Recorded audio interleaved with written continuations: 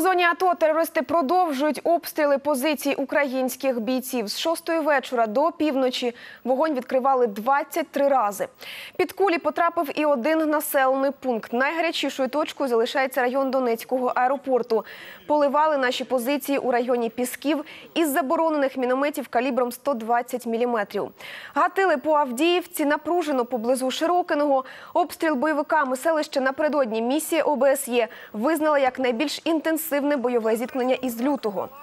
Цілий з танків і заборонених мінометів. Також від обстрілів постраждали Опитне та Зайцеве. Наш опорний пункт біля Луганського щастя під вогнем ворожих зеніток і гранатометів. Незаконні збройні формування знову обстріляли мирних громадян.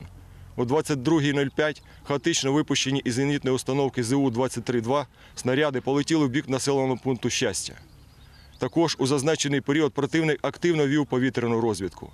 На Донеччині і Луганщині наші підрозділи зафіксували 11 безпілотних літальних апаратів.